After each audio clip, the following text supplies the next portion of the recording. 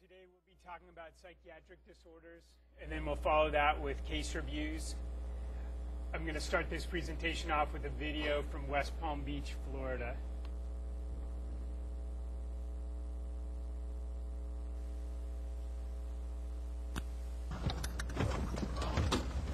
Six seven out with the signal 20, 600 block of 45th Street.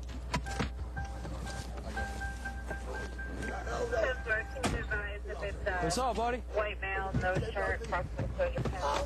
It bugged me. Please. Lay down. Lay.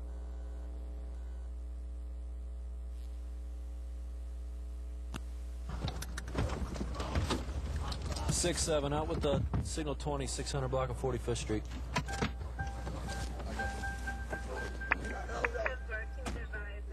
What's up, buddy? White male, no shirt, proximal exposure pants. It bugged me. Lay down. Lay down. Oh, What's going on, bro? beat me up. Who? Uh, How much coke you smoke, man? I don't do nothing. Oh, Lord. Hey, do me a favor. What? Relax. Please. Okay? I'll help you. Oh, my God. Hey, Oh, relax. no. I want nothing lower now. I'm sorry. Relax. Get on the ground. Get on the ground. Get on the ground. I'm on the ground. Oh, Stay Lord. there. Hey, stay Oh, like me. that. Come Come here, here, go dude. ahead. Oh, I'm right here. Ow. Stop.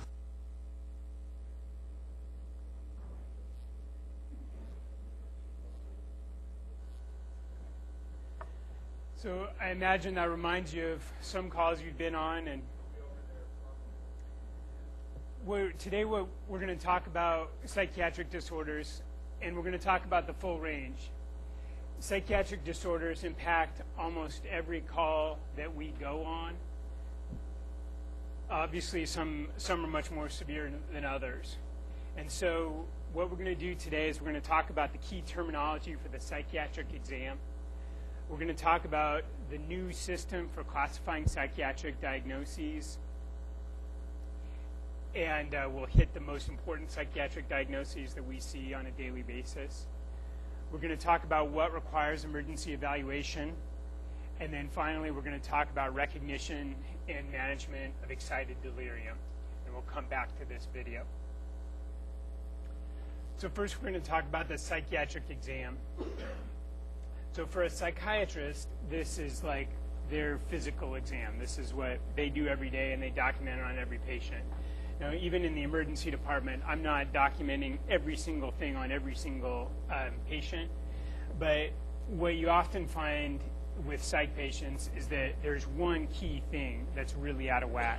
And so this is just to give you some terminology to describe what you're finding with the psychiatric patient. So the psychiatrists describe a patient's appearance and behavior, their speech, their mood and their affect, the thought process and content, insight and judgment, and then cognition. So appearance and behavior are pretty straightforward, but give you some important clues. This is essentially what you see when you walk through the door or you, uh, or you pull up and see this person on the side of the street. And so you can describe them as disheveled, well-kept, um, often with psychiatric patients, you uh, you may find, you know, this person has, um, you know, has uh, colored their hair purple and um, made it stand three feet tall, something like that that uh, can give you some insight into their uh, psychiatric state of mind. And then their behavior is what they're doing, whether they're agitated, pacing. You'll see patients picking at the skin, or what we call responding to internal stimuli, where they're um, responding as if someone were talking to them, but no one's talking to them.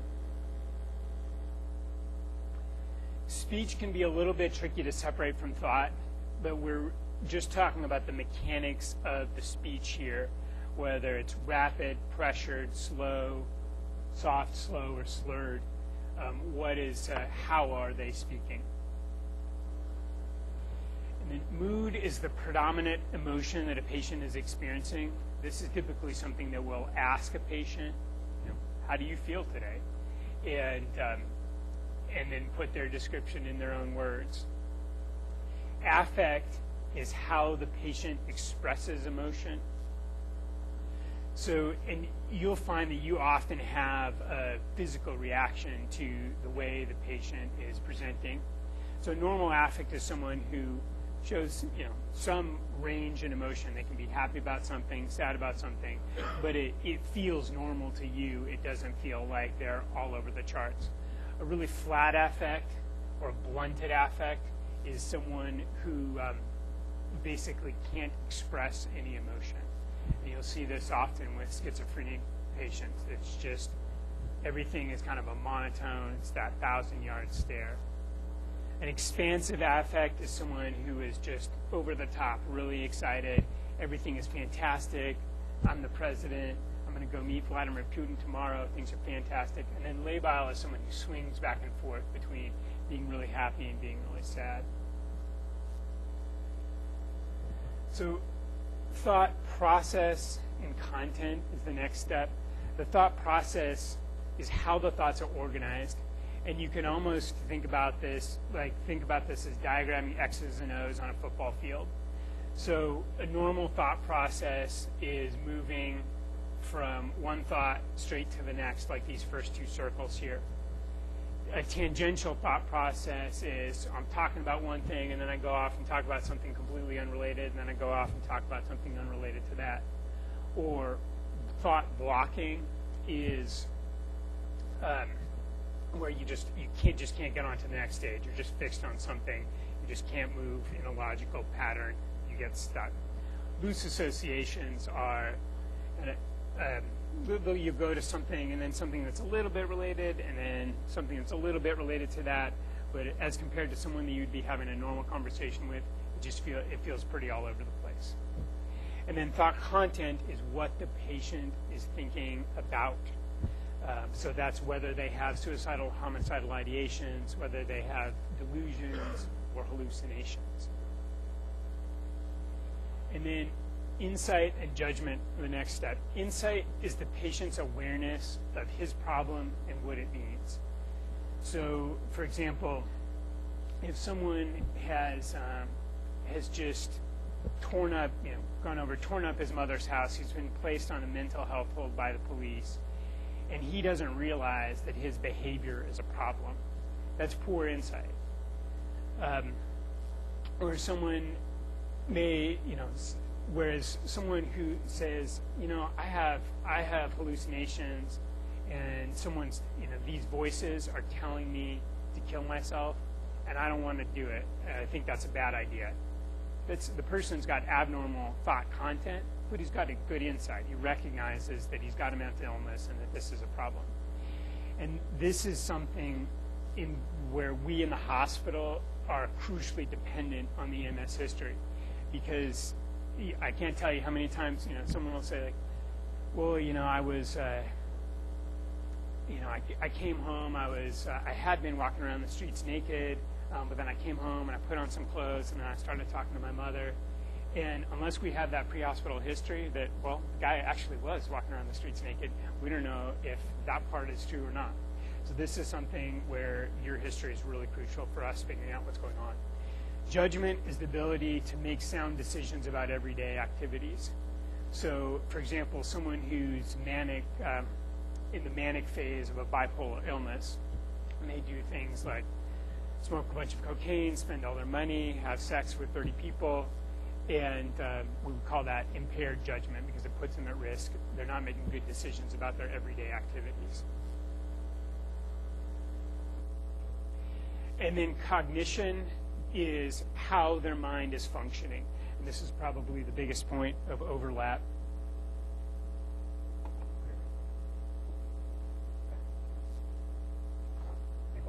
It's, uh, it's blocking the mouse. Yeah, I just can't. It's, um, it's hiding the mouse.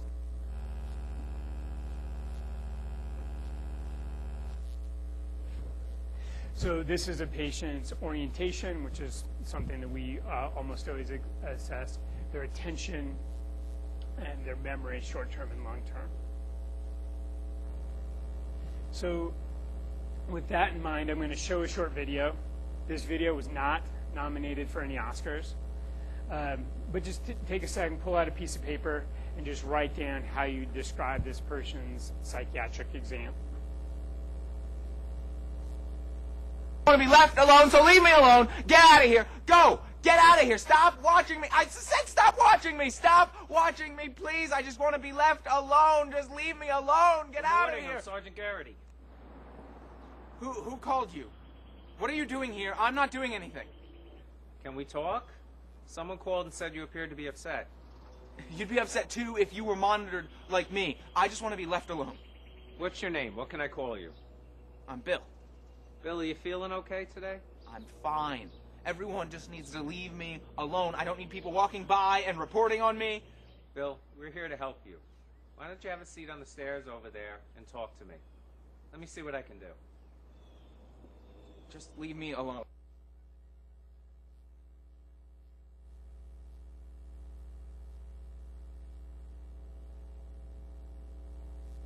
Any questions about that before we move on to the next topic?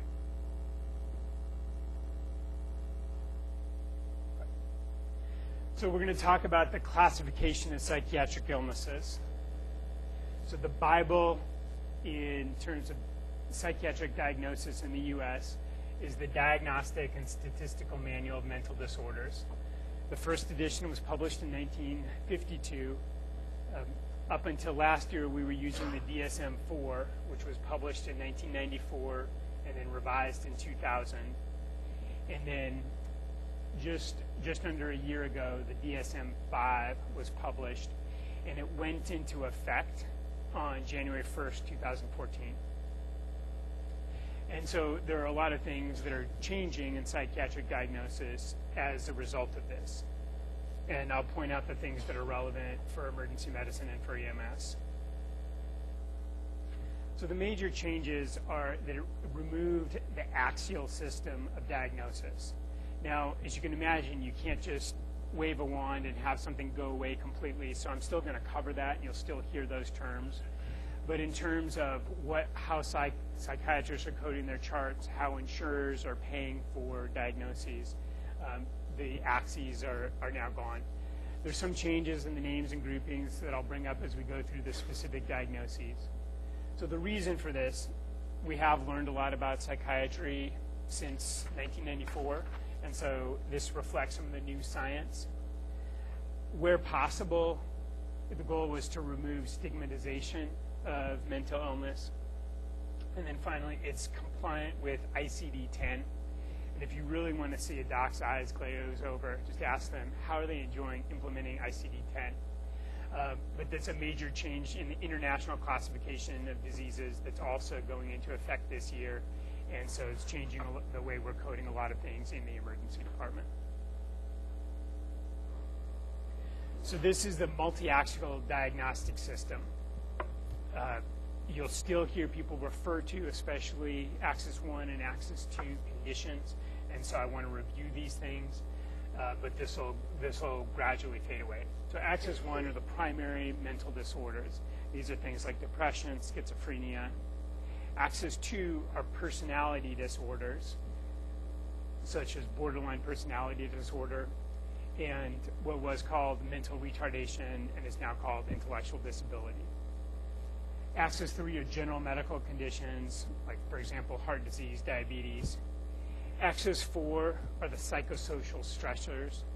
So you can imagine a patient with schizophrenia, borderline personality disorder, and diabetes is in a very different situation if they live in a home, have a supportive family, uh, have plenty of funding sources, versus someone who is homeless, has poor coping skills, and so all of these things are taken together in what was called Axis 5, which is the global assessment of functioning. And it's essentially a 0 through 100 scale, which grades how well someone is able to function in their daily life. Whereas someone who, um, for example, has depression and has some difficulty going to work for a little while might be in the 80s, um, but someone who is severely schizophrenic, unable to hold a job, unable to maintain an apartment, might have a score in the 20s, in the 20s or 30s. So what's replacing this? And so in the new system, axes, axes 1, 2, and 3 are combined. So this reflects that we think that personality disorders are now more, more related to the major mental illnesses, and they're no longer separated. and then they make notations for the psychosocial factors and how disabled they are by the condition. This is not something that you need to cover in your EMS charting. I've mentioned this mostly as background for what's changing in the whole world of psychiatry. Questions about that before we go into the specific diagnoses?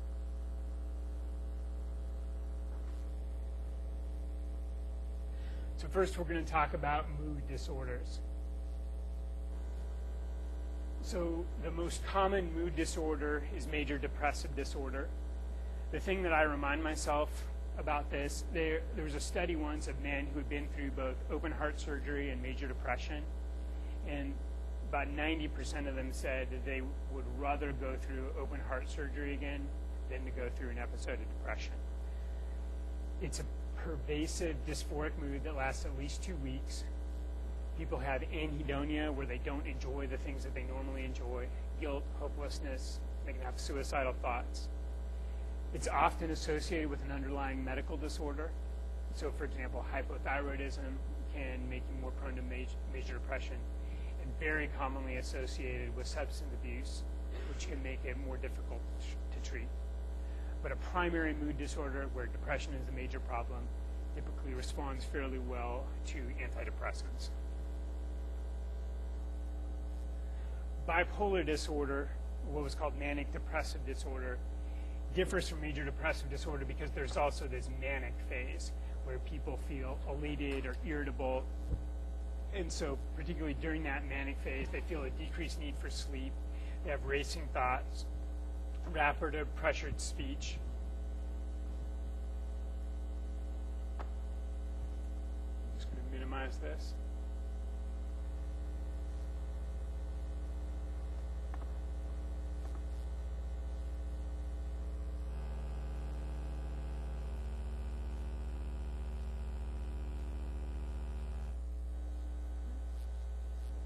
So they'll have delusions of grandeur. They think I, I had a patient tell me the other day, I, I'm basically I'm here for world peace.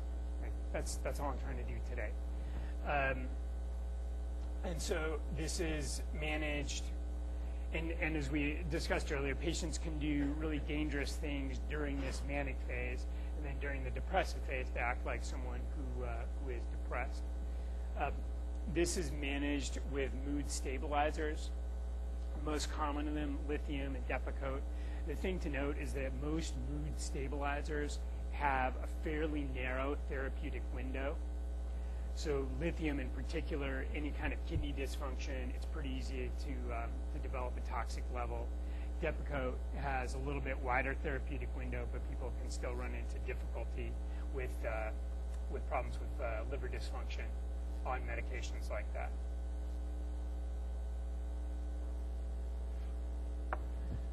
Anxiety disorders are also very common and also a very common reason that EMS gets involved. So generalized anxiety disorder is someone who feels anxious about everything all the time, and it lasts for greater than six months. It's treated with SSRIs, uh, selective serotonin reuptake inhibitors, medicines like Prozac, which are a long-term control for the anxiety, and ben- benzodiazepines for short activity for short acting. And many of these many of these people, um, the doctors pursue what's called a pill pill in the pocket strategy, where they have a tab of Ativan or Xanax that they can take when they feel their panic disorder, um, when they feel their anxiety ramping up. The panic disorder is more episodic, where people can feel normal and then have these episodes of panic. And then one of the changes in the DSM-5 is that panic attack is now can now be a feature of other disorders. So, for example, you can have major depression with panic attacks, or you can have bipolar disorder with panic attacks. The most important thing when we contact them is to understand if they have a history of panic attacks, and um, and under, these are people that generally respond well to uh, the dose of benzodiazepines. I think Versed is great for this because it's short acting, because it's uh, because it's rapid in onset for people who are significantly anxious especially to the point that it impacts their treatment. So now we'll move on to schizophrenia and the psychotic disorders. These are problems with thought process and thought content. So a psychotic disorder is defined as something where there's impaired reality testing, meaning they're not living in the same reality that you and I are. So they can have delusions, they can have hallucinations.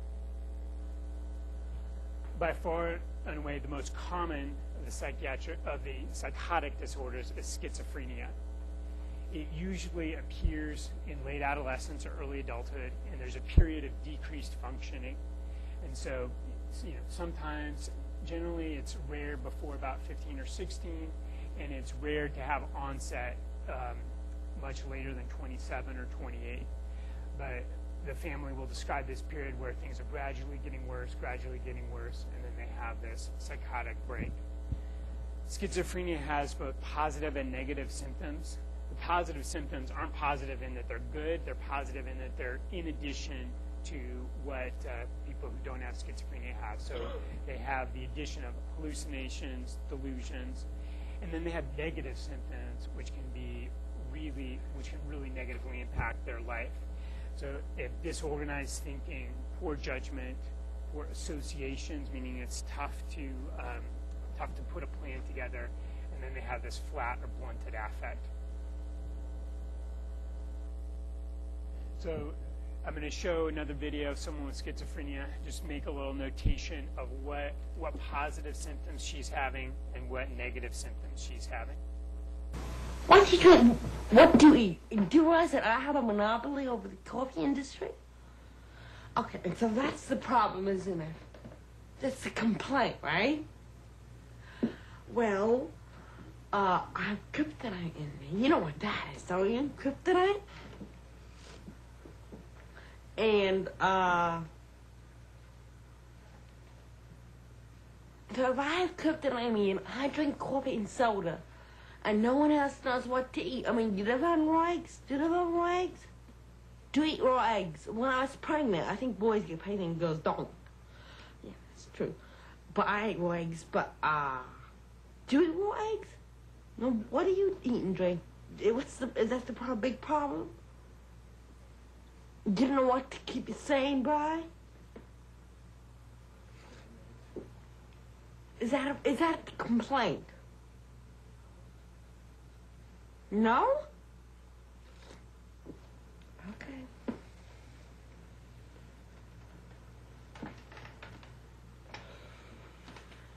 My daughter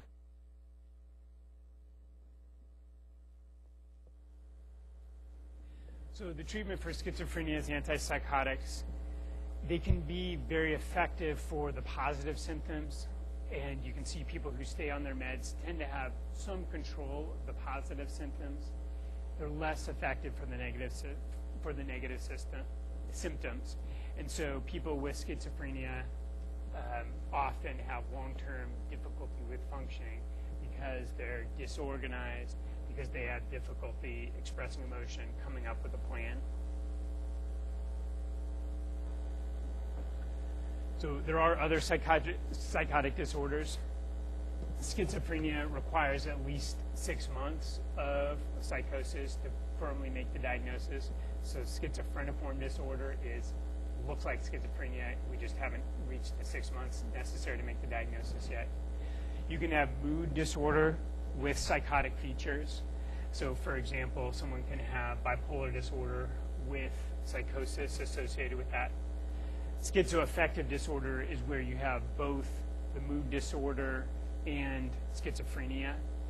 Um, so, for example, you can have major depression and schizophrenia. Sometimes we come in contact with people who have brief psychotic disorder, which is usually after they experience a, a very traumatic event. They can have hallucinations as a, as a result of that. And then there are people who have delusional disorder, so they may have a fixed delusion. So they think that, you know, my uh, my neighbor my neighbor is spying on me. My neighbor is the is the devil, but uh, they're still able to. You know, they still go to work in the morning, come home. Their neighbor is still the devil, but they're getting their job done. Their activities of daily living are not impaired by delusional disorder. Now we're going to move on to cognitive disorders. So in the DSM-5, what we what we've called for a long time dementia is now called neurocognitive disorder. Dementia is an accepted alternative name. Again, this is realizing that you can't just snap your fingers and have every everyone change their terminology. So you'll still hear dementia. It's still a perfectly accepted term, um, both in the medical community and by insurers. But you'll, you may also hear the term neurocognitive disorder. So this is a disturbance of the cognitive functioning, and it normally affects mostly memory and abstract thinking. So this can be, this is like someone with Alzheimer's or other kinds of dementia. They're almost always slow in onset. It can make an underlying medical illness more difficult to pick up. As I'm sure you've experienced, it can be really difficult to get a history from someone with dementia but there may be reversible causes, and so particularly if someone doesn't have an established diagnosis, we're going to work through all the potential medical causes that, uh, that could cause their altered cognition.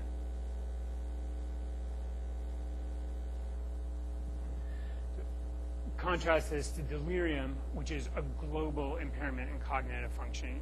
So it's not just memory, but it's problems with orientation, um, problems with thought processing, they usually have a decreased level of consciousness. It's acute.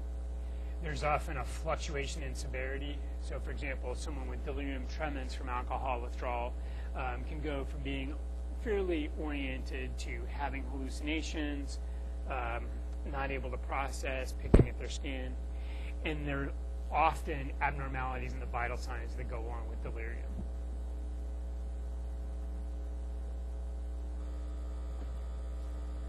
Now we're going to talk about the neurodevelopmental disorders. So I mentioned before what was previously termed mental retardation and treated on Axis 2 is now called intellectual disability or intellectual development disorder. But you'll hear both terms, and the a parent may say, you know, my son has mental re- retardation, my son has intellectual disability. Attention def- deficit hyperactivity disorder um, is something that um, we, most of us know someone who's been diagnosed with. Many of them work as emergency physicians. But uh, there, this is definitely a concern in DSM-5 because they've made the criteria for diagnosis a little bit more liberal. And so there may be more diagnoses of these, particularly in children. And then another change in DSM-5 is that what was previously four separate disorders along the autism spectrum are now combined to be autism spectrum disorder. So it was autistic disorder, Asperger's disorder, uh, childhood disintegrative disorder, pervasive, de- pervasive developmental disorder. And so now these, these are, exist on a spectrum. These are people who have difficulty communicating, forming relationships, using language and abstract concepts, but there is a wide, wide range in how these patients present. And in general, dealing with this, the family is the best guide, because they'll, they'll understand whether, and they can explain whether this is just a mild difference in functioning, and they can give you some clues on how best to approach the patient and how to deal with the patient. But occasionally, you're going to run into some patients that are wildly out of control with um, severe autism spectrum disorder as the cause. So these two videos show the range. Uh, the first uh, first patient is Nikki, who's a 19-year-old. Nikki's written a number of dictionaries and also a novel called out. Dragon Law, which he was keen to show me. These two are Japanese books, which are my, which is my favorite language to learn, and I'm starting to write the entire alphabet in hiragana, katakana, and kanji. Do you speak Japanese? Yes. H- how do you say hello? My name is Nikki. Konnichiwa, watashi wa nikuwasu. Very good. Next we have German. Can we move on to Dragon Law? Or- Not yet. Next we have um, Chinese simplified, and last but not least we have the Hindi language book. Hindi is a language that they speak in India. So you see, here's someone who's capable of doing certain things that most 19-year-olds and most 30-year-olds are not capable of doing. He and even and even though autism often impacts language ability, this is something that he's focused on, and he's just, he wants to learn languages one after the other, after the other. Um, but they, um, on the on this end of the spectrum, they tend to be very interested in one thing in particular, and you can see he doesn't like to be redirected. He really wants to have control over his environment. So when the interviewer wants to move on to the next thing, he's very he's controlling. He says, "Not yet, not yet." Um, but he has great ability as a result of that. But you can see if you get someone like this with a medical emergency, um, and he's in a situation that's unfamiliar to him, that can be a particularly stressful situation.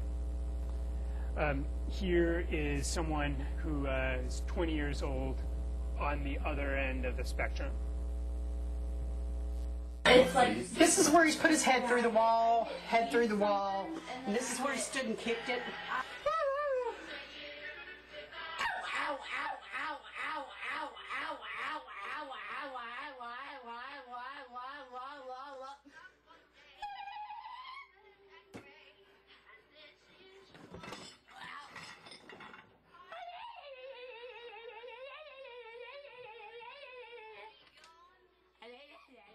Six foot two and he weighs 252 pounds. He can go through this house and just wipe everything out probably in 10 minutes.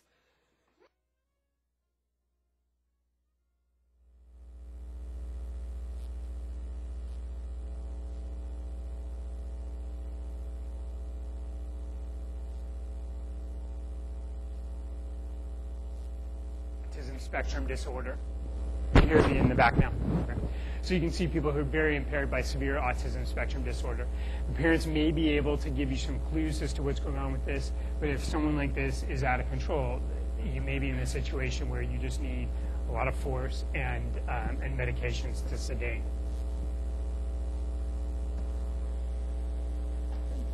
We're going to run through some other psychiatric disorders. So we often see patients with substance use disorder, either intoxication leading to maladaptive behavior, impaired judgment. The presentation of substance intoxication obviously depends on the substance. We see patients with withdrawal, both life-threatening withdrawal, as you would see with withdrawal from alcohol or benzodiazepines, and withdrawal that's miserable but not life-threatening, like withdrawal from opiates. And then you see dependence where people do maladaptive things to be able to get the drug. We come in contact with patients with eating disorders, um, particularly anorexia. Anorexia has a 10% mortality uh, over the course of a lifetime, higher than any other psychiatric disorder, because of the significant impairment you get in body functioning. Um, people are often very high achieving perfectionist, but they have, are highly controlled. They have this distorted attitude towards eating food and weight, a fear of fatness that's, um, that's out of proportion. I mean, they can have 5% body fat and still be very worried about that.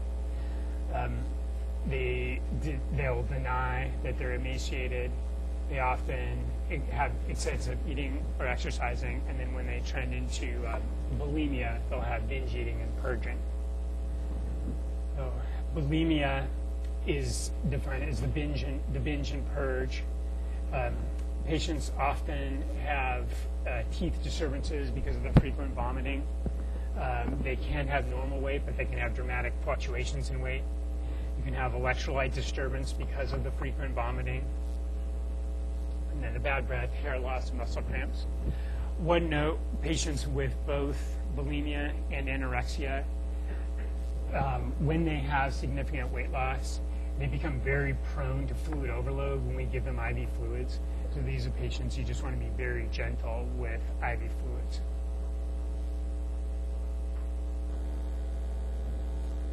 So there are obsessive compulsive disorder and then some related disorders. Um, so obsessive compulsive disorder has repetitive thoughts and mannerisms. So, for example, someone who washes his hands 10 times um, before, before he'll go to eat or needs to touch the door in this order and then turn the key that way before opening the door. And then, obviously, in EMS, we come across a lot of people who are hoarders. and uh, and that can obviously make extrication difficult. Another change in the DSM-5 is that PTSD was taken away from the other anxiety disorders and made its own category. I mention this not because we frequently deal with patients who have PTSD, but it's not uncommon for our colleagues in EMS to deal with this, and so I wanted to spend a little extra time on it. The four criteria for diagnosing PTSD are re-experiencing the traumatic event, having heightened arousal, so this is the person who's walking down an aisle in Safeway, um, but still looking for the sniper that's behind the cereal, um, avoidance of something that could be potentially triggering of the traumatic uh, memory, and then negative thoughts and mood.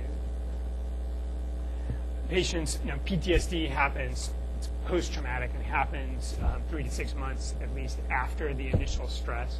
Patients can also have acute stress disorder where they're unable to cope because of an acutely stressful event. Um, and I, I mean, I took I took care of a patient the other day who uh, saw, you know, she was an apartment manager, came in and found someone who had uh, had shot his head off, and um, and you know, you we get fairly used to things like that, but for her, this is the most awful thing she'd experienced in her whole life, and she was having a great deal of difficulty with uh, with her daily functioning. So, personality disorders are something that we often come in contact with. A personality disorder is a lifelong problem. You can manage it, you can try to make it better, but these are things that never go away completely. And these are personality traits that impede your daily functioning. Probably the one we come across most most frequently in EMS is borderline personality disorder.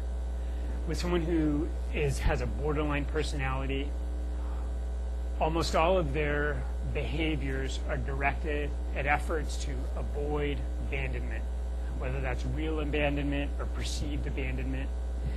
And so they will do things like splitting. And so this is the patient that says, you are the most fantastic paramedic I've ever come across. Your partner is a total jerk. I hate him. Don't get him anywhere near me. Now, that may be true, but, um, but that's, not, that's a uh, behavior that we'll often see in patients with borderline personality disorder. They tend to be very impulsive and have recurrent suicidal behavior.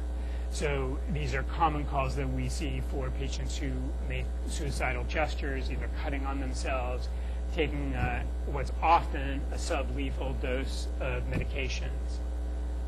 Um, the, the next four present kind of similarly, and these are patients who are just very, uh, very isolated. And often when we contact them in, in EMS, with, it may be the first contact they've had for some time. So obsessive compulsive personality disorder is just a slight variation on obsessive compulsive disorder where um, it doesn't completely impair their ability to live, but it can make them pretty difficult to live with or to get along with. Avoidant personality disorder are people who just, you know, they, they're unemployed, they won't, but they won't go to a job interview because they're afraid of rejection. Um, schizotypal has some of the features of schizophrenia, but not full-blown psychosis. Um, so they, they can be very blunted, very withdrawn. Antisocial personality disorder. Um, the, um, there are many people who are in prison, rightly so, because they've committed crimes, because they just feel no remorse, no, no bond to the rest of society. And narcissistic personality disorder are people who are just fascinated with how wonderful they are, how good they look, and, but the whole world revolves around them.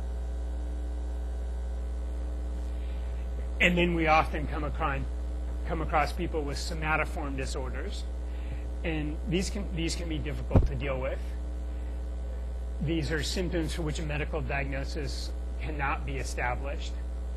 So conversion disorder is something that we see, and it's although occasionally patients will already have that diagnosis when you contact them, often you're seeing them for the first event in which this presents.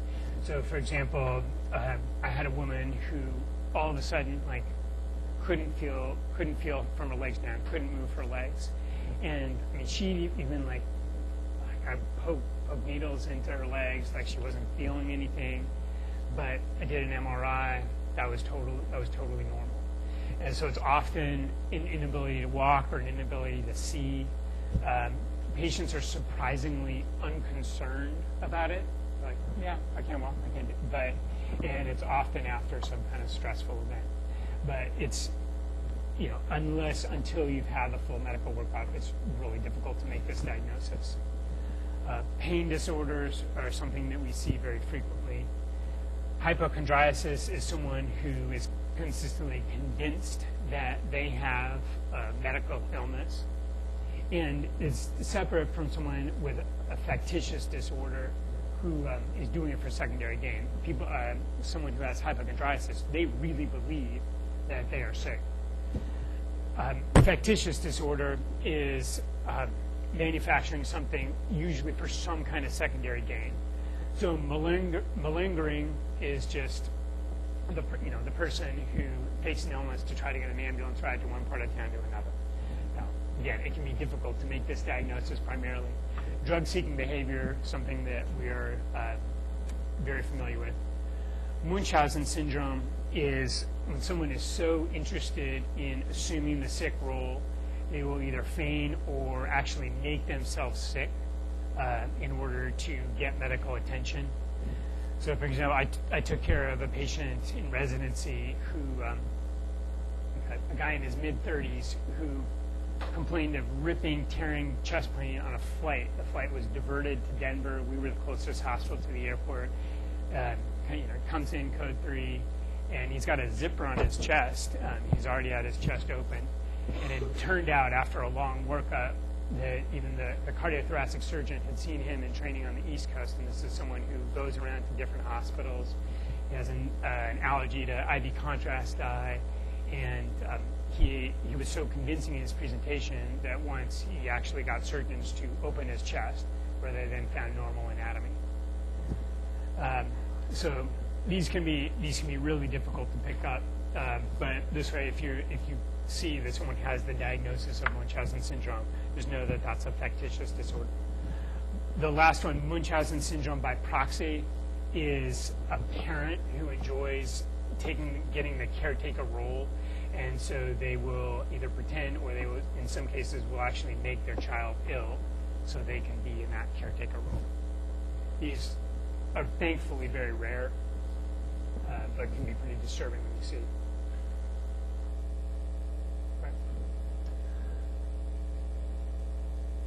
Why don't we, let's take a five minute break now, and then we'll move on to talk about excited delirium syndrome. So we're going to get back started talking about excited delirium syndrome.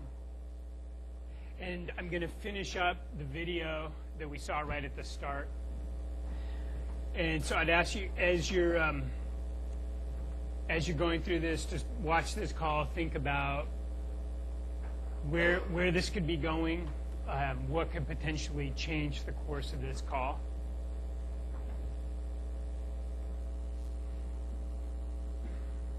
Down Get on the ground. I'm on the ground. Oh, Stay Lord. there. Hey, stay Fall like out. that. Come Come here, here, go dude. ahead. Fall down right here. Ow. Stop. Oh. Hold on. The cars are gonna.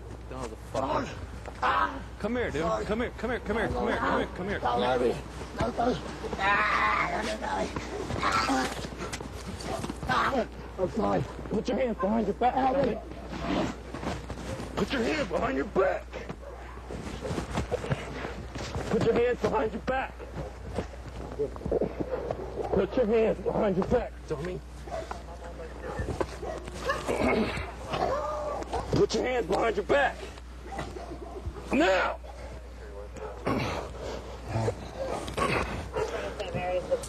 Put your hands behind your back.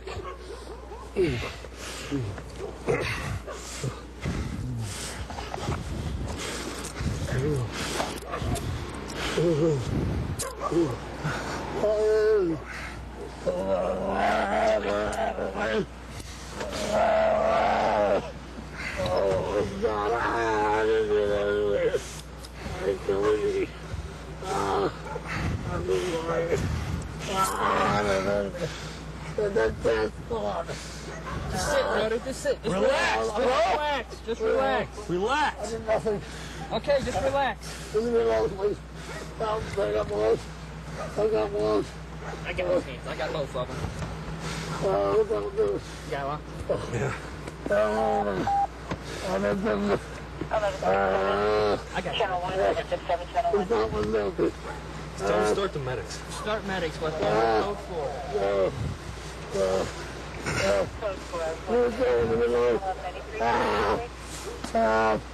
Oh, oh, no. It's You funny. got more hobbles? Get them. Hey, Ah, just grab them. I got them. ah, you. 67, Yeah. Channel 55, Right. Ah, how you doing here? 600 block. West Palm. Help! Help, there's air. Help! Oh, God. Oh, God. Oh, God.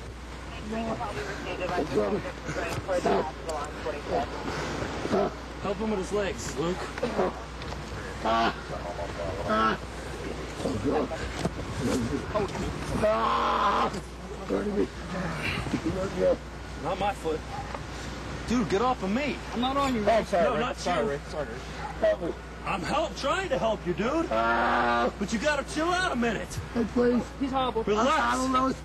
The cops are hurting me. They're coming. Help! What are you doing me? We're trying to keep you from hurting yourself. I'm not hurting myself. Oh, no. Ah! Oh, Lord. Let's get him out of the road. One, Oh. two, three. Ah! Ah! Help! Help! Help! Right there. Sit him up. Sit him up. Sit up. Help! Ah! Help! You're a fucking dummy. Just leave. Help! Sit up. My mom, I love you, Mr. Lewis. It's me dying, Lewis. Oh, the cops are killing me. Just cut off. Ah! Help me. Yeah. Father, I love you. Father, look at that, Jesus, I love you. Can't get him up, then we'll, I'm gonna, No! I'm gonna do a drive. Why are you trying to kill me? Hey, you need to chill out and sit up. Leave me alone. Sit up on your butt, man. Why? Who are you, officer? We're the What's- police trying to help What's you. your name? What do you help me do? I'm Officer Shaw. I'm gonna help You're you. but alive. You gotta help me. What's your name? Hey, now. Yeah, we're just trying to, uh, get him contained here. Hey. We're all right. Oh, Advise me that's the, uh, the guy that looked, Who? the guy that just called in. No shirt. Oh, All right. Jump. How do you take Get my it, left shirt? You're alive. I didn't jump. Right, get your gloves on. So close. I'm running. Get off his house. Keep still, buddy. Oh, no. No. Oh, please, the God. Oh, You got him on already. ah. We already have one. We didn't have Oh, one. you're killing me. I, but I couldn't, Yeah. I couldn't get it hooked. Ah. You would have hooked it? Oh, That would be good. oh, kill me. I love the Lift it Lord. Luke. His arms up. Ah, I kill you. Don't say it, God. Ow! Oh. Come on. Lift your feet up. Oh,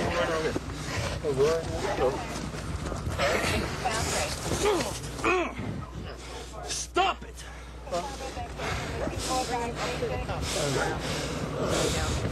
Tie it under here. Oh. Grab the top. I got it right here. We won't move now. Tie it to itself. It's gonna be too loose. Yeah, here. You gotta wrap it around.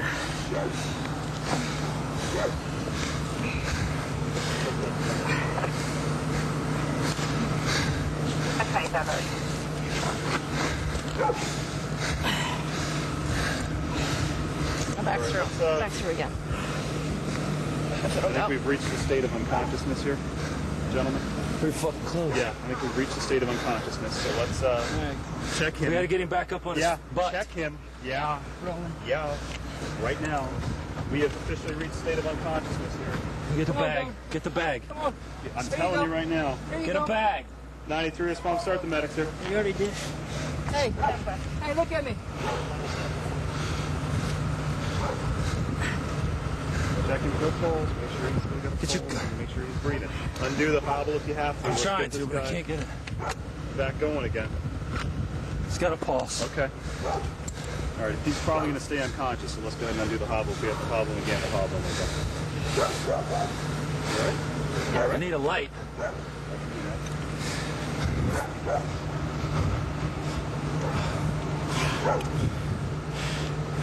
I got it. Here it is.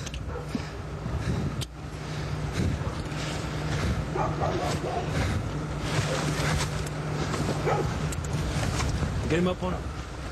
Sit him up. Get him up. All the way. Yeah, Ruth, take that hobble hold on to that hobble.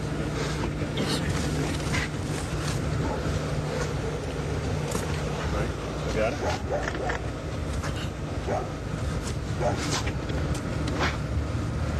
Medics. Russ, get him here. I can't. You have to make it. There you go. Chest Making it, yes. Ready? You have pulse on him? I can't tell, Sarge. Somebody, my heart's fucking already up, so I can't tell if his is. As long as he's getting there, medics are on their way. Lay him back. Let's do it for real. Let's get those Yep. handcuffs off. Yep. Let's do it for real. Roll this way. Okay? Get his head tilted. Let's do it for real. get the cuffs off. 93 what's fine. Thank you. Somebody give me a key. Hurry up, hurry up, hurry up.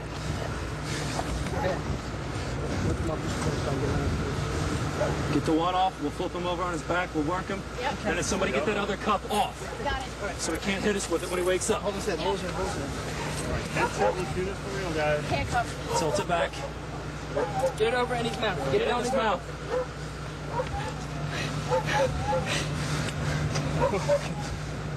Five and two. Five and two. Two, three, four, five, three. Twice.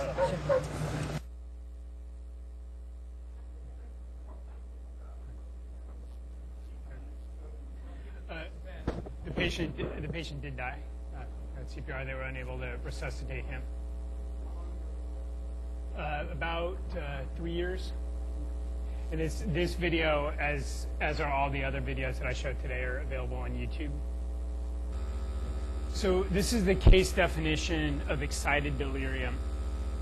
Um, this is from a white paper published by the American College of Emergency Physicians in 2009. Subjects are hyperaggressive with bizarre behavior and are impervious to pain, combative, hyperthermic, and tachycardic. There's typically a struggle with law enforcement that involves physical, noxious chemical, or electrical conducted device or taser use, followed by a period of quiet and sudden death. The majority of cases involve stimulant abuse and most commonly cocaine, although methamphetamine, PCP, and LSD have also been described. So this is also from the same white paper. Uh, This is a database of about a million police encounters in Canada, including 698 uses of force. And they had 24 patients that had six out of the 10 criteria for excited delirium syndrome. So the criteria that they're proposing are pain tolerance, tachypnea, sweating, agitation, tactile hyperthermia, police noncompliance, lack of tiring, unusual strength. All those 90% or above, inappropriately clothed, 70% attracted to mirrors or glass, about 10%. I don't think that really helps us.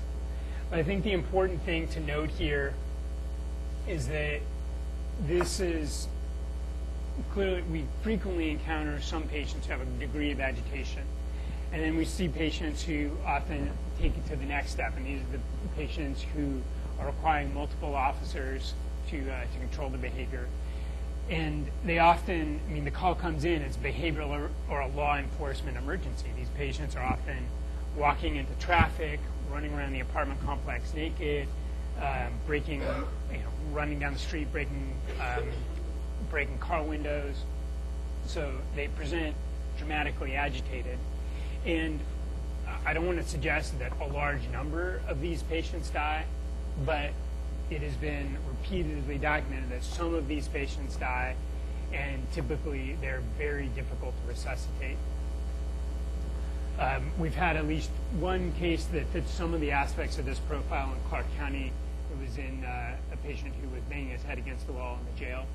And I do want to note, when this has been studied by the medical examiners, there's not one thing that is responsible for these patients' death. Not the, not the prone position, not um, uh, not a neck hold, not taser use. It seems that the reason it's defined as a syndrome is that all of these things seem to be going together. And so we'll talk about things that you should document and things that you should use in the management. Um, but this is something that exists, and it is it's one of the things that is purely an EMS diagnosis. No one comes into their primary care doctor uh, because they're naked breaking car windows. Um, and very few people make it into the emergency department without contacting EMS first when they're presenting like this. So this is a diagnosis that, uh, that EMS has to own and know how to manage. So it's a medical emergency, but because it's presenting as a behavioral emergency or a law enforcement problem, it requires a coordinated approach with law enforcement. I'm going to step back for a second and talk about the general management of psychiatric disorders, and then we're going to go back and talk more specifically about the management of excited delirium. So general management of psychiatric disorders.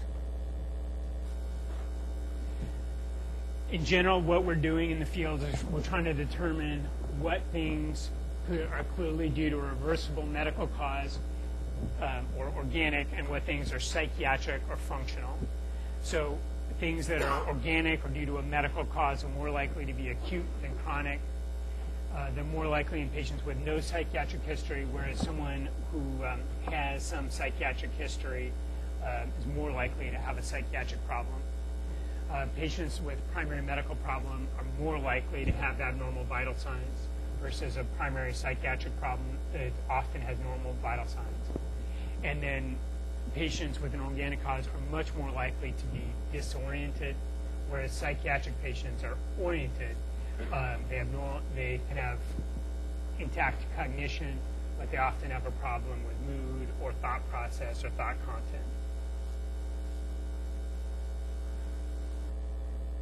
So why do we hospitalize people for psychiatric disorders if they're suicidal, if they're homicidal, or if they are gravely disabled, meaning that they're unable to care for themselves because of the degree of their illness?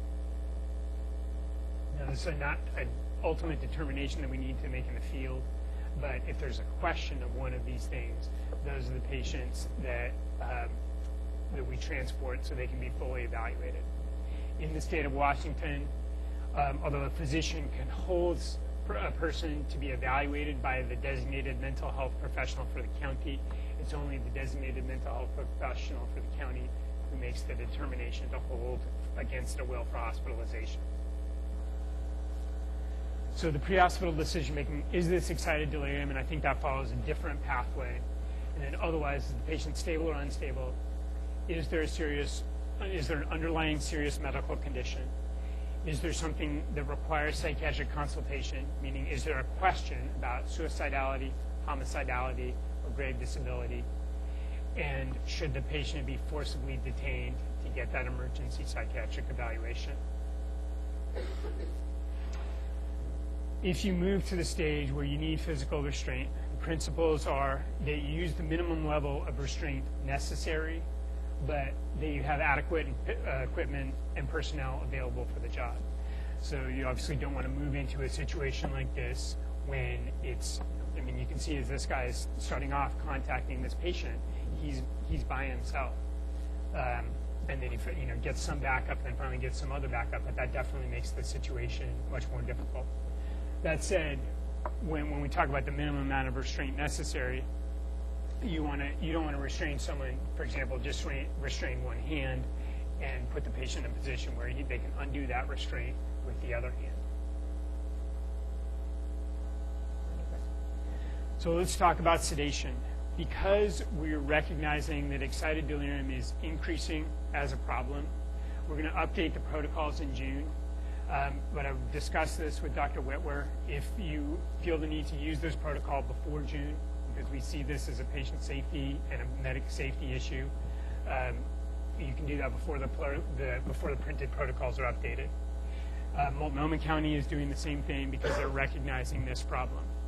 And so my contention is, if you think back to that video and that call, this is much safer if we rapidly sedate this patient. And so if you're finding someone who is in this situation where they're a threat to themselves, a threat to responders, bystanders, you can use 5 to 10 milligrams of midazolam IM and, mixed in the same syringe, droperidol 5 to 10 milligrams IM. And the, the idea of this is that we're safer off if we get rapid control. This is essentially procedural sedation to allow you to do the takedown. And then you want to put this patient in a situation where they're fully monitored. So cardiac monitoring, pulse oximetry, end-tidal CO2. Now, there's no, this, the patient in the video may have died anyway. My contention is that his best chance to make it through this encounter is if we rapidly sedate him and then institute all the physiologic monitoring that, uh, that we can do. It's the prolonged struggle that makes them more likely to, uh, to arrest. Now, if you're not dealing with this completely out of control patient, but someone who's mildly agitated, if you've got a known or suspected psychiatric disorder, then droperidol is the preferred agent. If you don't have that, um, Geodon is also an option. You just have the problem of reconstitution. And then if it's primarily a, a sympatho, um, a sympathetic overdrive state, so for example, stimulant ingestion like cocaine or methamphetamine, withdrawal from alcohol or benzodiazepines or post-ictal, then Versed by itself is the is the drug of choice.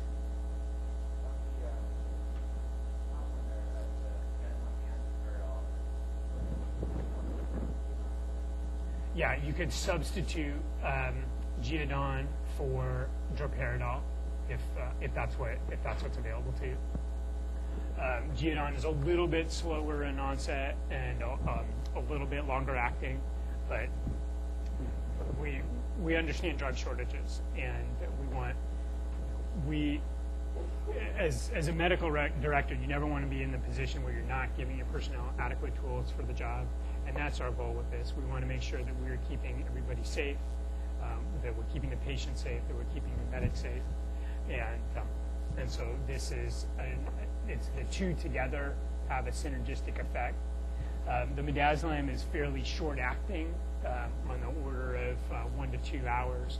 Droperidol can be a little bit longer, uh, but we understand that some of these patients require sedation, and your best shot is to give them one IM dose of a high, you know, one high IM dose, but then to get them supine monitored as quickly as possible. Other questions about that?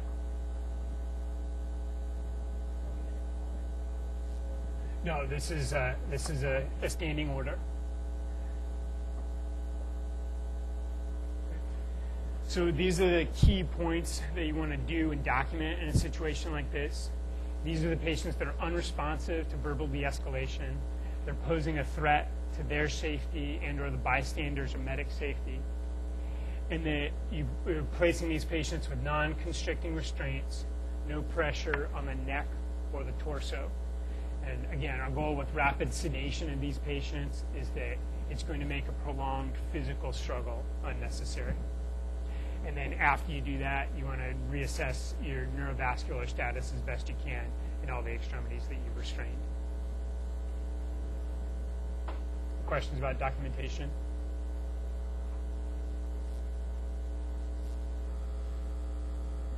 So the key take-home points from this you want to describe the key abnormality on the psychiatric exam, whether that's a problem of mood or speech or thought process or content.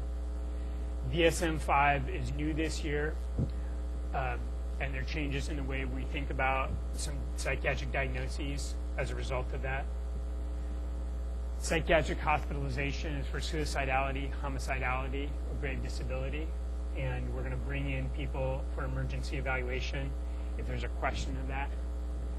And then excited delirium is a medical emergency that requires a coordinated approach with law enforcement. And with that, I'll take any other questions.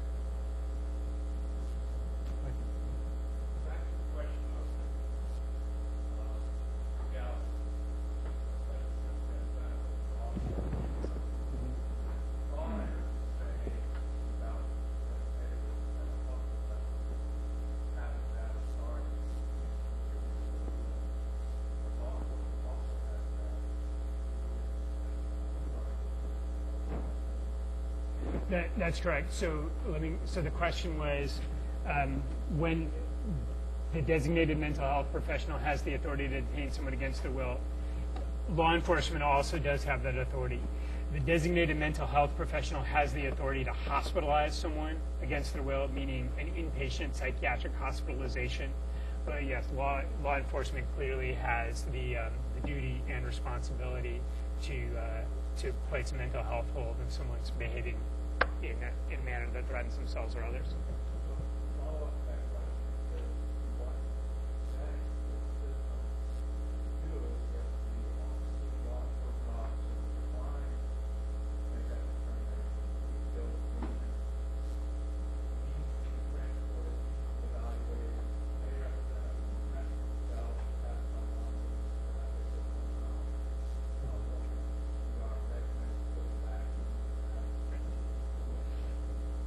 You want to do it or do Yeah, I can actually here I'll focus. Um,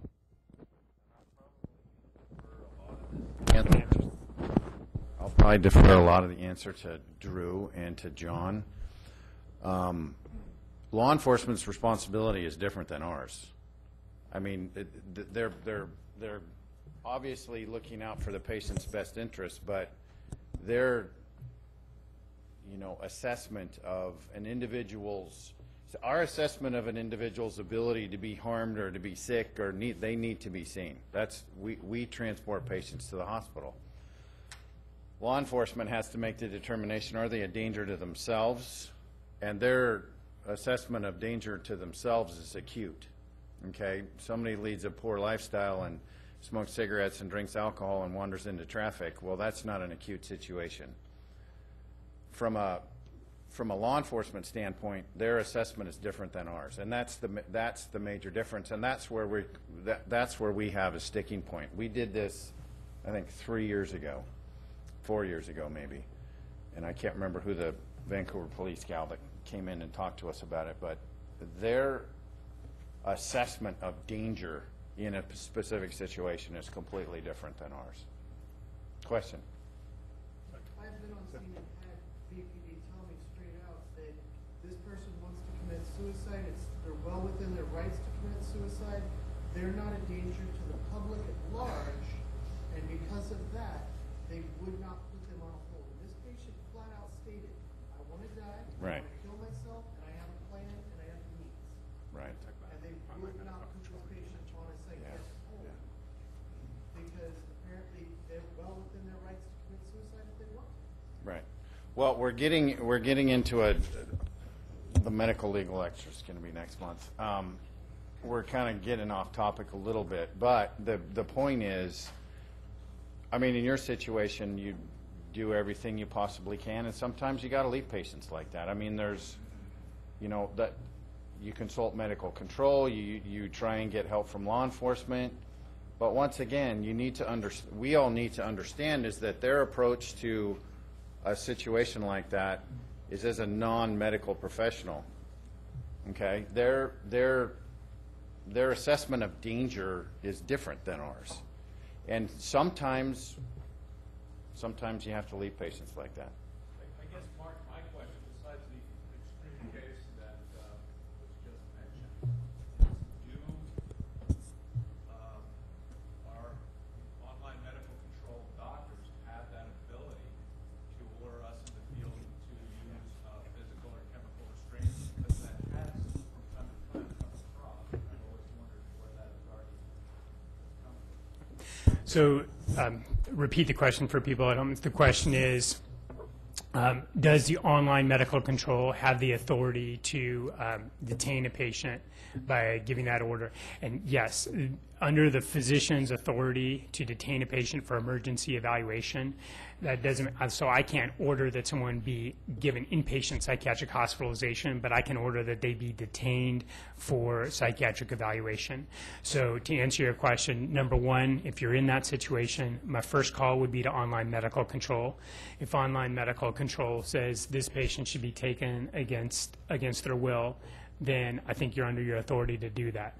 I think you also have to make an operational judgment about whether you have the resources to do that safely and what kind of cooperation you have from law enforcement in that situation. Uh, The second option that you have is contacting the designated mental health professional through dispatch. Um, They're on, they're on 24/7, and you can describe the situation, and they can do, and uh, they can also do that. But I think your, your best choice is to contact online medical control first. Does that answer your question? Yes, it does very well, thank you. And Dr. Bell, do you have anything to add to that from the physicians at Southwest? No, I would concur with what Dr. Mark fully support your assessment, concerns, and, uh, you help us if you run into that, uh, Okay.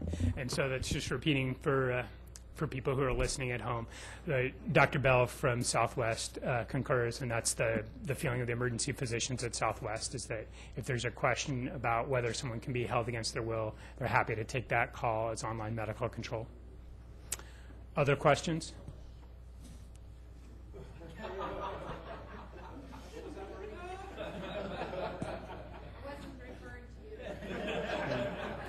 So on that note, let's take a five-minute break, and then Dr. Bell will be back with case review.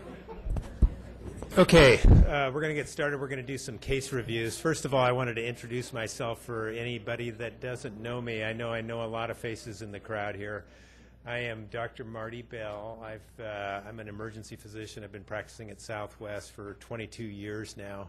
So I've been in the community a long time, and I uh, have a great appreciation for what you all do. Um, I know our environment is challenging sometimes, but I know it's, it's uh, amplified in the field, and you have some very challenging situations that you get into that uh, are not for the faint of heart. So uh, Dr. Mock just mentioned uh, a few of the uh, more harrowing situations that come up uh, with behavioral situations. What I'm going to talk about is, is something that should send you out of here feeling pretty good about what you do. Uh, we're living in the age of intervention now, and for stroke and STEMI and a lot of surgical conditions, there's uh, some fantastic things that we can do quickly if they're identified. And uh, what you do is extend hospital care into the field and allow us to uh, identify things early on and mobilize uh, uh, specific teams that can intervene rapidly and, and be life-saving or limb-saving. Uh, so case one, I got the, uh, the uh, pleasure of, of reviewing these cases this, from this past month, and uh, this was a uh, chest pain call uh, and a 77-year-old male who was uh, obviously in, in some physical uh, distress, uh, complaining of chest pain radiating to his abdomen and jaw, and had been going on uh, two days, uh, getting worse, um, and he was uh, working in his shop. It got pretty severe. Um, he laid down, uh, but things didn't get better. Uh, called uh, 911 and um, kind of gave a nondescript uh, complaint there. So initially, his uh, vitals, um, he was awake and alert. Uh, pressure was okay. His rate was okay. Um, 12 lead EKG, which is one of those tools that actually can uh, determine the um, the direction of the, the care for your patient.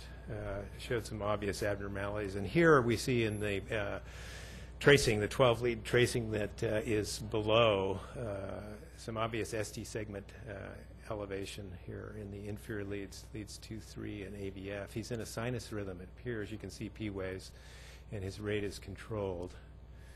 Um, if you look at AVL, there's some ST segment depression there. So this looks like it's uh, true reciprocal. If you're looking at the at the uh, at the heart, it's on the um, opposite opposite side. So reciprocal changes, would, which would be consistent with uh, um, a an inferior wall uh, STEMI. Um, the EKG is a is an imperfect tool, but it is helpful in in uh, in our situation in, in in identifying patients that possibly could benefit from a quick trip to the cath lab. Um, but it can be a difficult thing to interpret sometimes, and has to be put into the into the uh, into the clinical situation. In this case, uh, his his uh, treatment was started with some aspirin after identifying the, uh, the EKG changes. And um, we put an IV in and uh, hung a bag of saline. And with an inferior wall uh, STEMI, you got to be concerned about whether this is extending into the uh, right ventricle. And they did make mention of a, a V4R that was negative there. I don't know if we actually got a tracing on this one or not. But they are particularly volume sensitive, uh, and, nit- and nitroglycerin or morphine can really dump their pressure um, if you're not um, careful. So we try to uh, not use that in the field, especially if you if you have a, a concern about that. So uh, here, uh, got a little bit of saline. Uh, his exam was not indicative of uh, congestive heart failure. His lungs were clear. His mental status stayed the same. His pressure stayed stable. And um, he was uh, transported.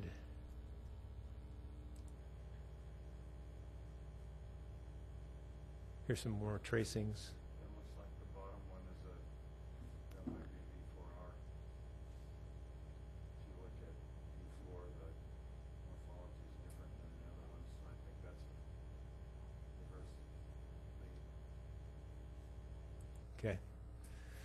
So in the hospital, uh, and this is what I can give to you is the hospital follow-up, because often, even in the ED, we don't get follow-up on some of our patients, but uh, I'm sure it's more difficult for you also, and this is where it gets pretty fascinating and and um, and I think rewarding for the work that you do. Uh, in, in the hospital, they get. Uh, heparin and Plavix, uh, typically uh, that's given before um, they go in with the the catheter.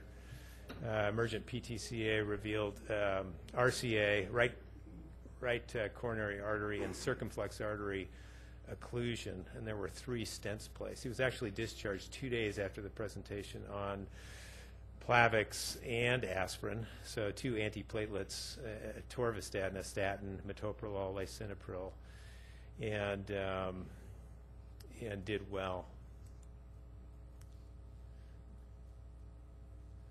Uh, case two, um, chest pain for two days off and on, and and uh, presented with uh, constant uh, central chest pain for 11 hours. So prolonged chest pain in the field. Uh, he thought it was indigestion, which is typical male. You know, kind of everything um, is explained by uh, something that wouldn't wouldn't do harm. But he was found to be sitting on a sofa in moderate distress, ashen, which is always a bad sign. Um, his, uh, let's see, treatment included some early aspirin after this uh, 12 lead electrocardiogram revealed again what looks like uh, some inferior wall ST segment elevation. You can see that there in 2, 3, and AVF. And uh, again, he's in a sinus rhythm. Sinus, uh, his, his rate's a little slower. Still having pain. Blood pressure 91 over 59. So he's in, you know, his he's hypotensive at this point. His heart rate is 65, and he's got an inferior wall uh, pattern on 12 lead electrocardiogram. So your concern is here you don't want to dump his pressure, and staying away from nitro again is probably a good idea in this situation, which was done. He was brought into the hospital, and in the ED, after that prolonged 11-hour uh, episode of pain, his initial troponin was 3.6, so it was already elevated when he came in, and actually rose to over 50 in his over his hospital course. He was again given a heparin bolus and some fentanyl. Um, he was actually given some PO, uh, metoprolol, and atorvastatin, and Plavix in the ED on route to the cath lab. And in the cath lab, he had thrombosis of his RCA, the right coronary artery, had PTCA of a bare metal stent, followed by intracoronary nitroglycerin and adenosine uh, to actually restore TIMI3 flow. And TIMI3 flow is basically normal flow through a uh, coronary artery. They, they graded on uh, the thrombolysis and myocardial infarction study. And um, it's interesting to go to the cath lab conferences and actually see the angiograms. And I'd like to do that sometime and actually bring some angiograms to give you a visual uh, representation of what this actually means. But uh, it's all done under fluoroscopy, so you can actually see the contrast going through the, uh, the uh, architecture of the uh, coronary anatomy. He, again, was discharged two days later, so within two days, discharged from the hospital after a major heart attack. This is something 20 years ago that was, um, you know, unheard of. You'd stay weeks in the hospital recovering from things like this. He was uh, actually in- instructed by his cardiologist to uh, avoid tobacco and methamphetamine in the future. Case number three. This is a young guy, 51 years old. Uh, this is a great case. This was uh, just very impressive about uh, the care that this guy got. And I don't know if anybody in the room actually took care of this guy, but uh, he was working out and actually uh, had uh, uh, substernal uh, chest pain that radiated down both arms and went to the urgent care clinic at the Vancouver clinic. Um, he was there and had pretty stable vital signs um, and, and bad chest pain, which was totally out of the blue for him. Um, pretty healthy guy by history. Uh, no medical problems, on no medications. His 12 lead uh, was, let's see if it's on the next slide here.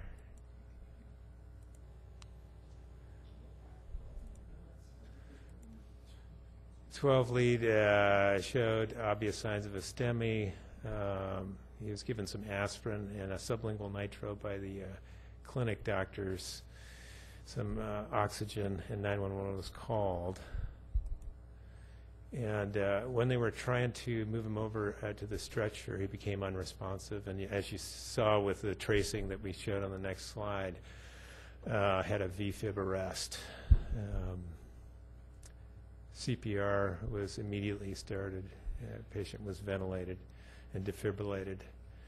He had a return of spontaneous circulation, and his heart rate after return was uh, slow.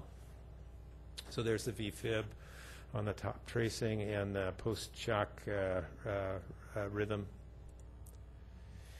And here's the 12 lead that depicts his uh, area of uh, injury. And as you can see, um, he's got anterolateral ST segment elevation depicted in the precordial leads there and also in uh, leads 1 and AVL. And you see in the inferior leads, at least leads uh, 3 and F, you can see reciprocal ST segment depression.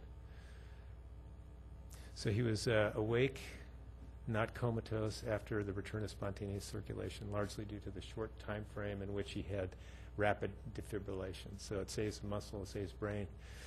His uh, vital signs there, um, you know, perfusing rhythm. In the hospital, he got heparin, nitro, Dilaudid for pain, amio, bolus, and drip because of his arrest. He got some Zofran. Uh, the cath lab was busy, unfortunately, at the time. He got TNK until he could be taken. I don't think it was too long of a delay until he went to the cath lab and uh, had partial reperfusion already uh, when they cathed him, yeah, but found a, a, uh widowmaker 90% stenosis of his LAD. He was uh, he underwent angioplasty with a dil- uh, drug-eluting stent and um, did well, but post-cath he had some degree of uh, myocardial depression with his EF on echo. So they typically do an echocardiogram to assess the um, the pump, the, the heart muscle, and, and how well, especially in an anterior wall where you're dealing with the left ventricle and the effi- efficiency with which the pump works. They do a EF, and 30 to 35 percent is is low, and um, may make him a candidate for a um, ICD because of his sudden cardiac arrest. He was discharged with a life vest, which is, I, I, I don't know if you're all familiar with that. It's a kind of a. Uh, uh, did you really? Okay, yeah. And I know we've had uh, at least one of the, the pediatric arrests that went home on an, i- a life vest as well until they could define whether they would need an ICD. So. Uh, and that really depends, uh, according to the insurance companies, on whether the, you uh, you uh, recover uh, the the uh, left ventricular function enough over the course of three to six months. I think I'm not sure exactly what the time window is. Do you? But they um, they reassess at three to six months and determine what your uh, EF is, and then whether you're a candidate for uh, ICD or not. So uh, this gentleman was discharged three days after this event, and uh, those are the medications. He had an ACE inhibitor, carvedilol, which because of the heart failure, it's a beta blocker like metoprolol, but uh, they use it more in heart failure patients. Plavix, aspirin, atorvastatin, and PRN nitro. So he had an amazing uh, outcome based on his near-death experience, and, and only because of the rapid, effective pre-hospital treatment. Case number four. Uh, this is kind of a wild case and probably kind of fits into Marlowe's territory from his lecture. Uh, he, uh, this was a difficult extraction of a patient. I guess his house is kind of uh, funky with a uh, 30 foot of homemade stones and very poor access. He was found writhing on the floor of his living room. Anybody take care of this guy? Uh, bystanders were act- actively smoking, plumes of smoke coming. I can just picture this plumes of smoke coming out of the windows. Uh, he was having bad pain, it looks like, um, with some other symptoms. He was concerned that he may have a, I don't know, DVT or PE. Uh, he had self-administered some medications before coming in, and he was a very difficult historian. So as you can see on the 12 lead here, he's got some some pretty bad abnormalities. He's got some anterior ST segment elevation, um, and uh, he's got some premature beats there. Uh, looks like his underlying rhythm is a sinus rhythm, and his rate is not too bad. His blood pressure there initially was 78 over 67, and rate was 70. Um,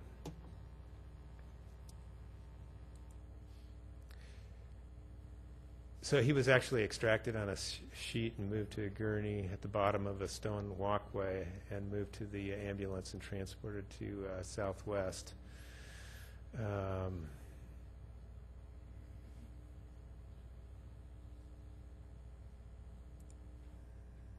went straight to the cath lab where he was found to have an acute thrombosis. Now this guy had had previous uh, previous uh, bypass surgery, and he had a LIMA left internal mammary artery graft, to the LAD.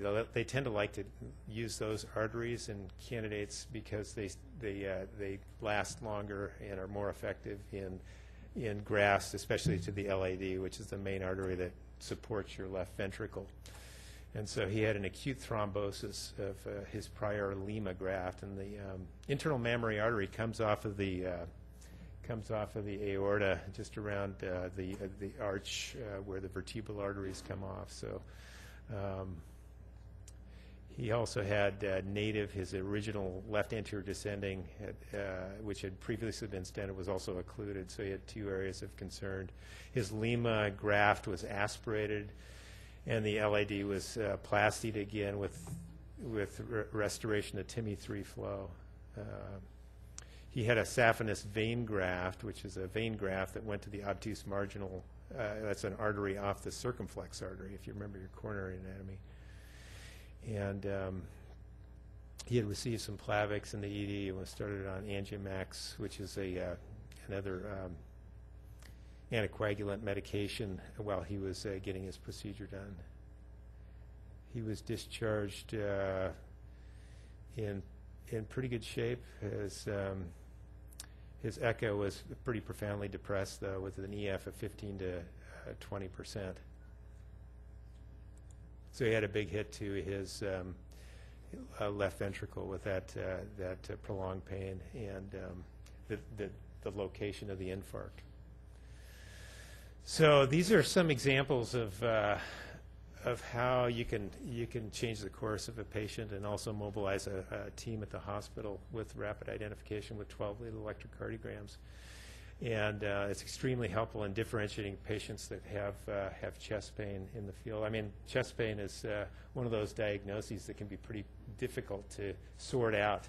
I mean, it- there's a a broad spectrum of causes that can be involved, uh, from musculoskeletal all the way to the vascular emergencies like an acute aortic dissection or, uh, you know, a STEMI or a massive PE, that sort of thing. And then there are other things, inflammatory conditions, myocarditis and, and uh, pericarditis that can confound things. But, you know, being able to differentiate that with 12-lead electrocardiogram. And pericarditis, you know, you, you'd expect more diffuse ST segment elevation. Even in myocarditis, you can have a myopericarditis uh, without any reciprocal changes like you saw in some of those uh, representative EKGs. So the data that you have is very helpful initially to kind of sort these out and, and also to, you know, it's very uh, resource uh, heavy um, proposition to get a cath lab team in, especially after hours. So it's important to, to make pretty good um, uh, decisions early on.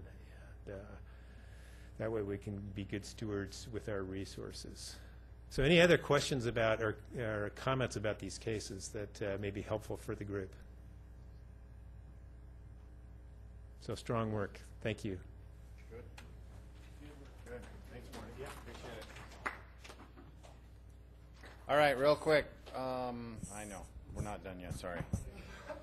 Okay, ALPS inclusion criteria, non-traumatic out-of-hospital cardiac arrest. You need an IV or an, or an IO for these patients to provide, um, study drug. Persistent or recurrent VFib, VTAC, pulseless VTAC, after one or more shocks, okay? There's been a couple cases, couple cases recently where we've had the, um, ALPS drug given at the third shock. Just give it, I mean, at least it's been given, so, but try and give it for recurrent VFib, okay, one or more, right? No open label IV am- amiodarone or lidocaine used in the field, so these are exclusion criteria. Known hypersensitivity, it's hard to know, but if somebody has a lidocaine hypersensitivity, those, those may be a little bit more common. Um, if they have the medical alert bracelet, et cetera, et cetera. Protected population, prisoners, kids, and pregnant patients, they're out. Um, and then obviously those with no study bracelets. What counts as a shock? A ROC agency, an EMS agency gives a shock. First responder, BLS AED gives a shock. Um, ALS delivered a shock. Public access defibrillation shocks. Okay, I know some places like the courthouse, Frito Lay, they have AEDs on site. A lot of churches in town have AEDs on site. If they give a public access shock, that counts.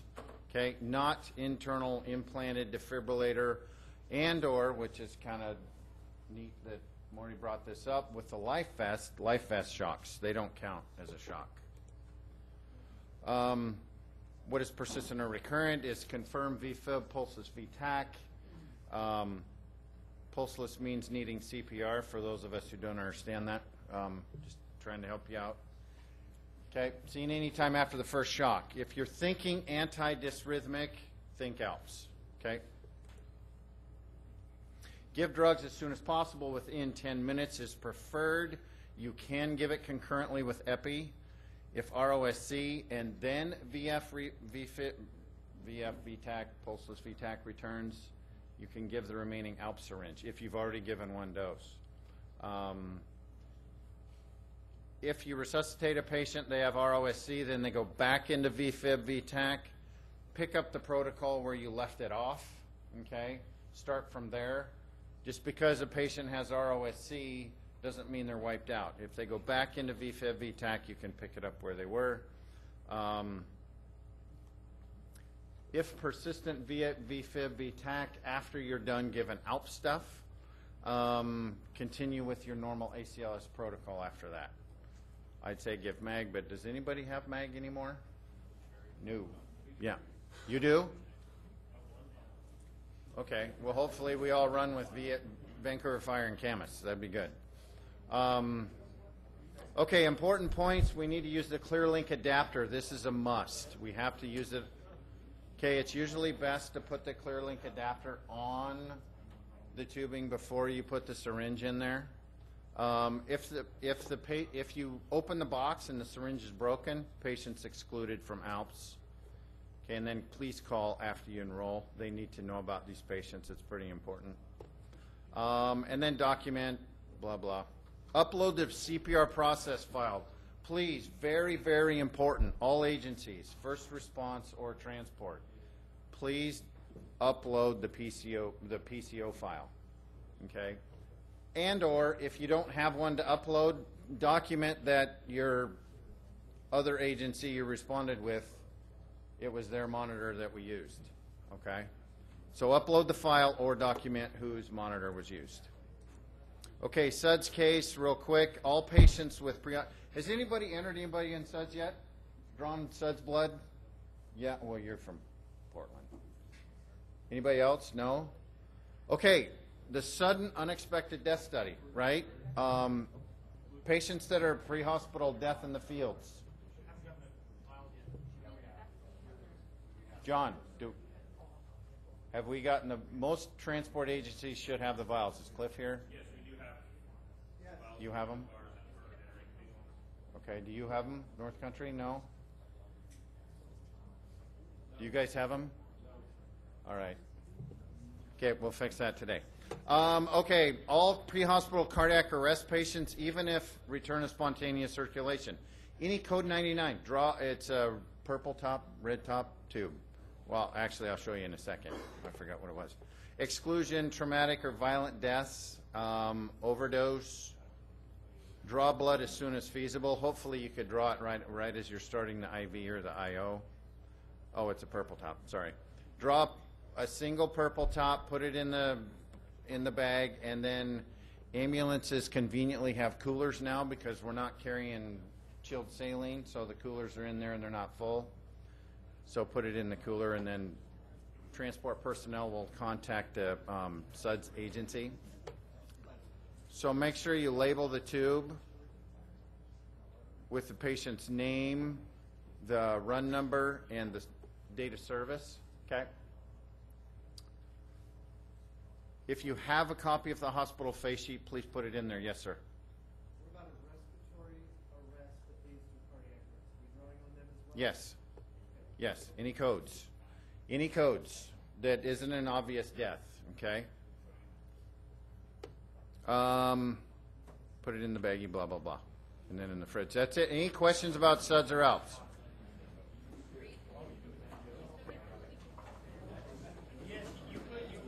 Potentially.